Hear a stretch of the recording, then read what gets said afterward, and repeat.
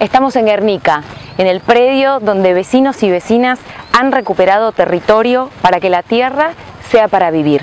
Hemos venido a traer con el Nuevo Más y la agrupación de Mujeres Las Rojas nuestra solidaridad, porque entendemos que en el momento donde el país más golpea la pobreza, más golpea la desocupación, más golpea el virus, más golpea la violencia hacia las mujeres, más necesarios son los derechos sociales y no la propiedad privada de los ricos, de unos pocos, que en el caso de todo este predio ni siquiera pueden terminar de demostrar su titularidad de propiedad. No puede ser la salida a este conflicto la represión y el desalojo. No puede ser que un gobierno que se diga progresista, que yo sé que muchos votaron para otra cosa, hoy quiera dar una respuesta de desalojo con un operativo policial a las miles y miles de familias que se encuentran en este lugar.